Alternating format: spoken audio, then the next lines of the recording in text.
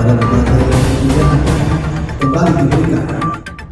Dan kita cintai ayahan.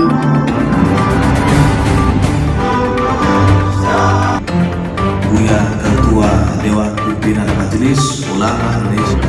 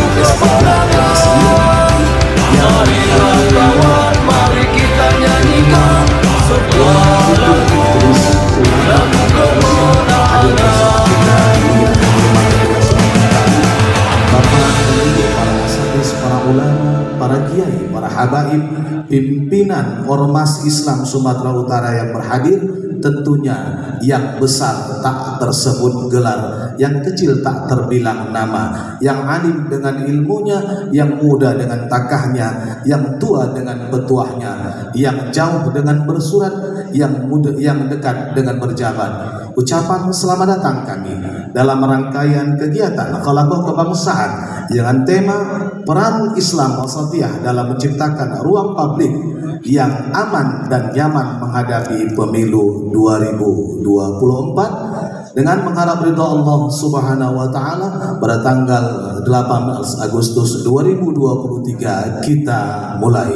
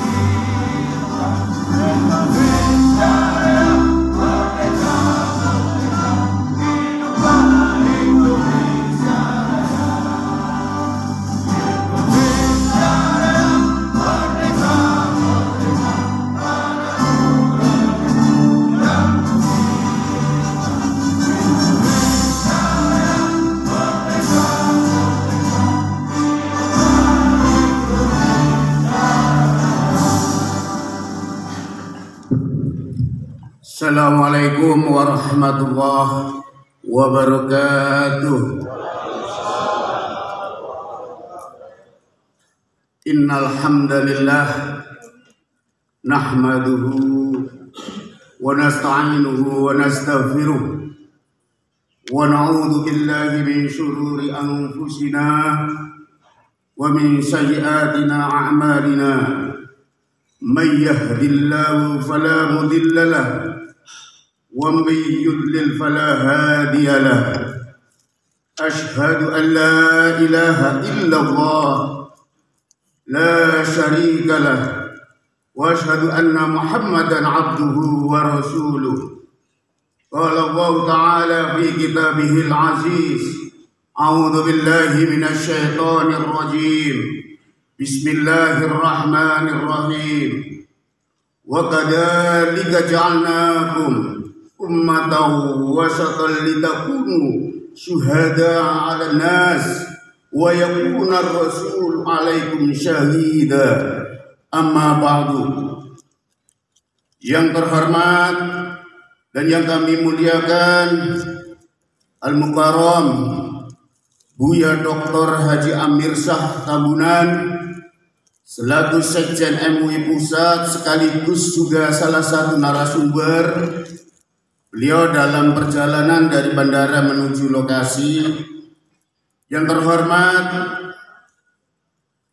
dan kita cintai ayahanda kami Buya Dr. Haji Maratua Simanjuntak selaku Ketua MUI Sumut Alhamdulillah beliau selaku orang tua kita menjadi wadah berhimpun ormas-ormas yang ada di Sumatera Utara dan mari kita doakan agar ayahanda kita Buya Martua selalu dalam kondisi sehat walafiat. Yang terhormat dan yang kami cintai Bapak Irjen Pol Haji Agung Setia Imam Effendi selaku Kapolda Sumatera Utara.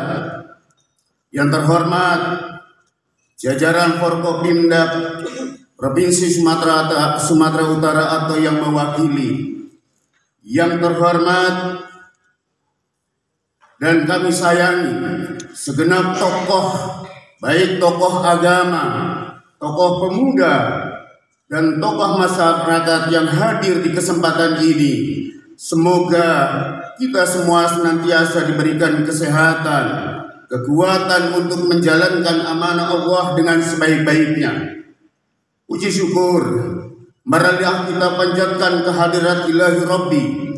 Atas karunia-Nya kita bisa sama-sama berkumpul dalam rangka acara halakoh kebangsaan guna menambah wawasan kebangsaan kita serta kita bisa bersilaturahim bertatap muka di majelis atau forum yang mulia ini dalam keadaan aman fi amanillah sehat walafiat mudah-mudahan setiap derap langkah bisa membuahkan pahala bagi kita semua bisa menjadi penghapus dosa dan pengangkat derajat di hadapan Allah Subhanahu wa taala. Tak lupa semoga salam dan salawat serta salam senantiasa tercurah kepada junjungan Nabi Muhammad sallallahu alaihi wasallam kepada keluarganya, sahabatnya, para tabi'in, tabi'ut tabi'ahum kepada kita semua serta kepada umatnya hingga akhir zaman yang menjadikan sebagai uswatun hasanah suri dan yang baik. Bapak Ibu hadirin yang berbahagia, izinkan kami menyampaikan beberapa sambutan yang kami utarakan. Yang pertama, kami mengucapkan terima kasih kepada Bapak Ibu hadirin wal hadirat sekalian yang telah hadir di tempat ini dalam acara halakoh kebangsaan dengan tema peran Islam wasatiyah dalam menciptakan ruang publik yang aman dan nyaman menghadapi pemilu 2024 menuju Indonesia maju. Semoga langkah kaki kita, ayunan tangan, dan niat kita semua menuju tempat ini menjadi nilai ibadah di sisi Allah Amin, amin, amin ya rabbal alamin. Yang kedua, kami juga mengucapkan terima kasih pada segenap panitia pelaksana yang berjibaku bekerja sama demi terlaksanakannya kegiatan halakoh kebangsaan hari ini. Maka tanpa kerjasama kita, acara ini tidak akan terlaksana sebagaimana mestinya.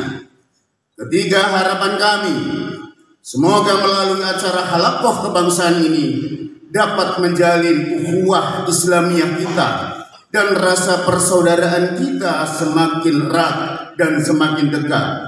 Mari kita bangun ukhuwah insaniyah, kita bangun ukhuwah basyariah, kita bangun ukhuwah watoniyah guna menuju Sumatera Utara yang penuh kedamaian, penuh solidaritas, penuh harmoni dalam bingkai dan peran Islam wasatiyah. Keempat, dan kami mohon kepada Bapak Ibu, jika dalam pelaksanaan cara halakoh kebangsaan ini terdapat kekurangan di sana sini, baik dari penyambutan maupun pelayanan, semoga hal ini menjadi bahan evaluasi untuk ke depannya, agar kami bisa memperbaikinya, dan hal ini tidak menjadikan Bapak Ibu sekalian berkecil hati. Bagi peserta halakoh kebangsaan ini, kami memohon agar bisa mengikuti acara halakoh kebangsaan ini hingga tuntas. Mengingat diskusi panel ini dibagi menjadi dua bagian. Hal ini agar bisa memberikan masukan-masukan yang konstruktif bagi Forkopimda di Sumatera Utara. Barangkali demikian sambutan yang bisa kami sampaikan. Sekali lagi kami ucapkan terima kasih yang tak terhingga atas kehadiran dan kesempatan yang telah diberikan dan mohon maaf atas kekeliruan, kehilafan dan kekurangannya. Kepada Allah kami mohon ampun, kepada hadirin kami mohon dimaafkan. Wallahul muwaffiq ila aqwamit thoriq. Wassalamualaikum warahmatullahi wabarakatuh. warahmatullahi wabarakatuh. Bapak Kapolda Bapak-Bapak para Ustadz, marilah kita sama-sama berdoa.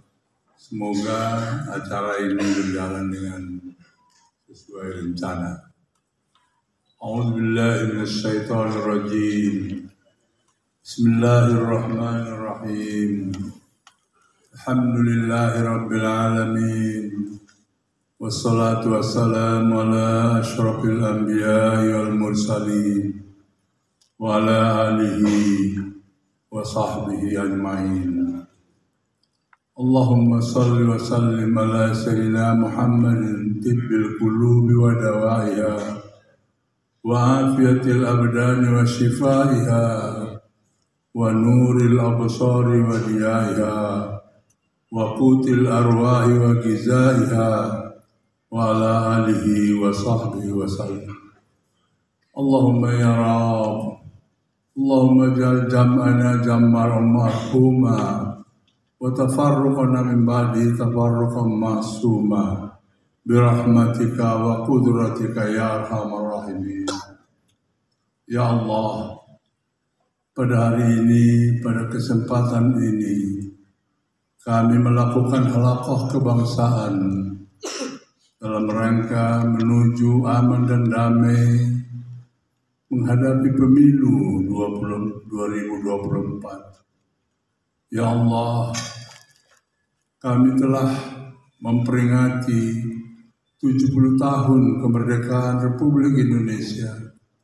Kemerdekaan yang telah menghapuskan atau menggantikan penjajahan lebih dari 350 tahun yang pada saat itu rakyat, masyarakat, para ulama khususnya berupaya dan berusaha untuk terciptanya satu misalkan galiza, satu perjanjian yang kokoh dan kuat yang pada akhirnya kita sebut, kami sebut dengan ideologi Pancasila.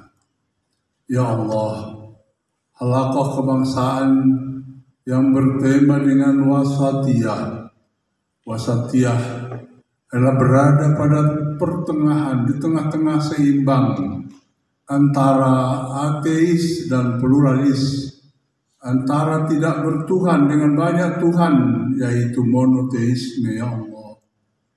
Antara orang yang Jabariyah dan Qadariyah, antara orang ekstrim kanan dan ekstrim kiri, berada di tengah-tengah, karena memang pertengahan itulah yang membawa masyarakat berpikir dengan jernih, karena tidak tiling ke kanan, tidak juga ke kiri.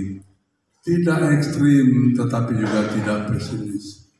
Rabbana ya Allah, halakah kali ini, kami bermohon ridho dan inayahmu.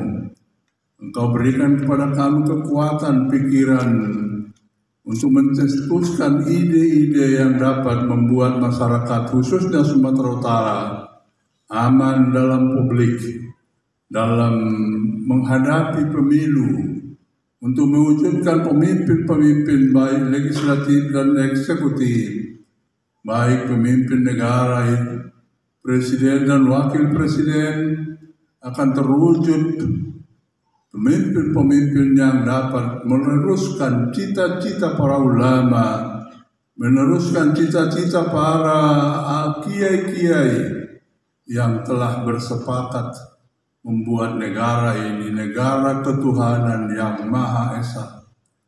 Ya Allah, sejalan dengan itu pula kami di Sumatera Utara dihadapkan dengan berbagai masalah, premanisme, begal, berbagai kesulitan ekonomi yang hampir menyetujui atau melaksanakan apa yang dikatakan oleh Rasulullah kadal fakru ayakuna kufra karena kepakiran, kemiskinan, ketidakadaan membuat orang melawan, ingkar melakukan sesuatu yang mungkin dia sendiri pun tidak menginginkan itu dia lakukan. Ya Allah, Kapolda kami yang baru telah berupaya untuk itu. Berikan jalan yang terbaik, berikan jalan yang paling tepat dengan tidak memukul tetapi merangkul. Mudah-mudahan Sumatera Utara akan menjadi Sumatera Utara yang bermartabat. Rabbana taqabbal minna innaka antas samiul alim tub alaina innaka antat tawwabur rahim. Rabbana atina fid dunya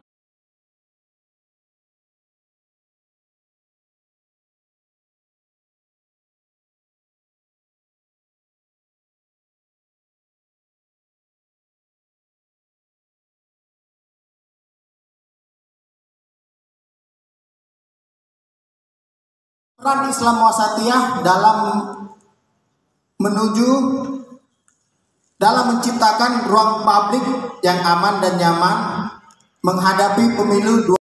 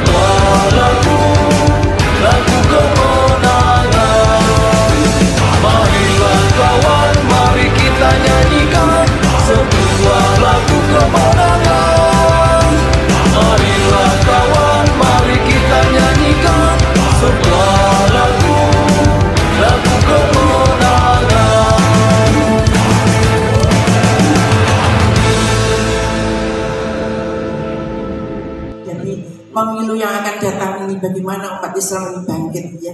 Jangan memandang bahwa uh, politik ini bukan urusan dalam masjid kan gitu ya.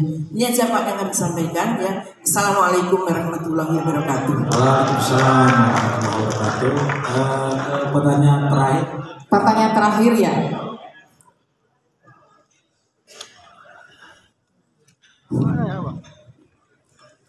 Bismillahirrahmanirrahim.